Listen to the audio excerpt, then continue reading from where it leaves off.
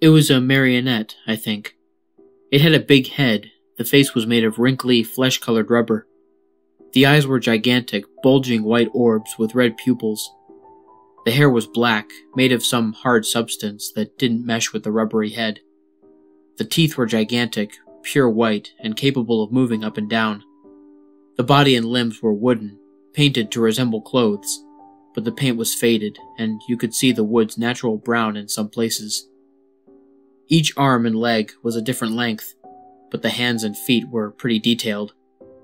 It made a loud clattering sound whenever it moved. That puppet followed me. I don't mean it got up and chased me. I mean it kept showing up in my life.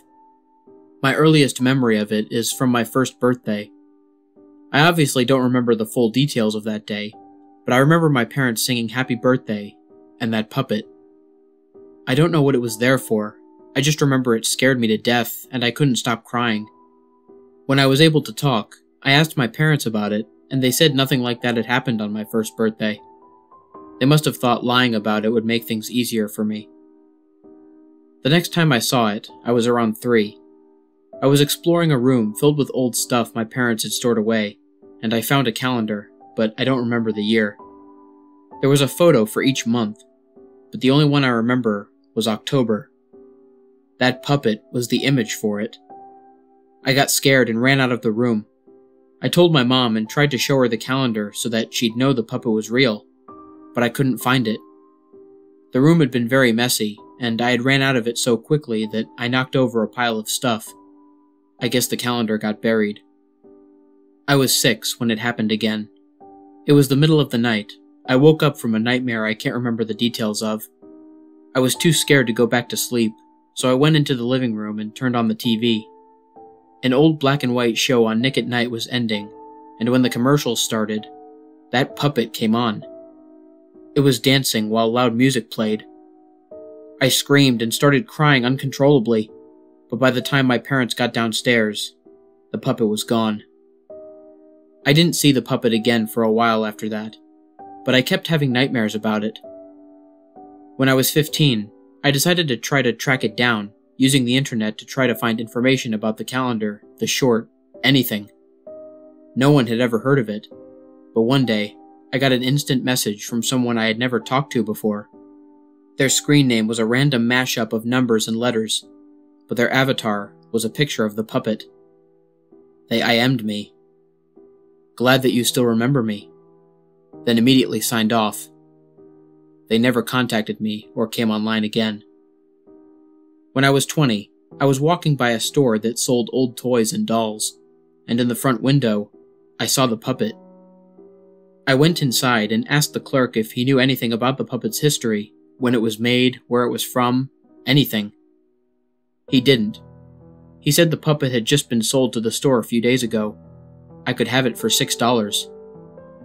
I wasn't sure what to do. It still scared me, but having proof that it really existed seemed like a good idea. I bought the puppet and took it home. For a while, I felt better. I viewed the puppet as a childhood fear I had overcome as an adult, and even started to believe the explanations my parents had given me for the past appearances of it. I saw it somewhere else as a baby, imagined the calendar, dreamed the TV short, and someone online was playing a trick on me. I kept the puppet, but as I moved on in my life, I pretty much forgot about it. I finished college, got married, and my wife should be giving birth in a few weeks. I was cleaning up a room for when the baby comes, and found the puppet, dusty and abandoned. I didn't want my kid seeing it when he was little, so I picked it up and decided I might as well wipe the dust off before moving it to another place. When I dusted it, I noticed a faded inscription on the back. This is what he'll look like. Before I could figure out what this meant, I heard my wife starting to cry. I rushed to her. She looked more upset than I had ever seen her. Sobbing, she told me that the doctor had just called. There was a problem with the baby.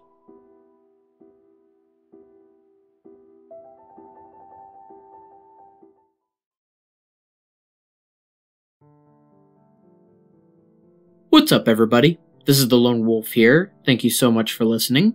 I hope you guys enjoyed my narration of The Puppet. If you're new to my channel, please consider liking, sharing, and subscribing if you enjoyed the video. Hit that bell for notifications and join the Lone Wolf Pack. If any of you guys have a personal story or recommendation for me, or you just want to talk, there will be a link to my email, Twitter, Discord server, and Instagram in the description. There will also be links in the description for all of the music artists that I used in this video, along with each individual track that I used for those of you interested in the music. And last but certainly not least, if any of you guys have any ideas or tips for me to make my videos even better, please leave me a comment or send me a direct message. Until next time, stay spooky. And remember, the hunt begins when the moon is full.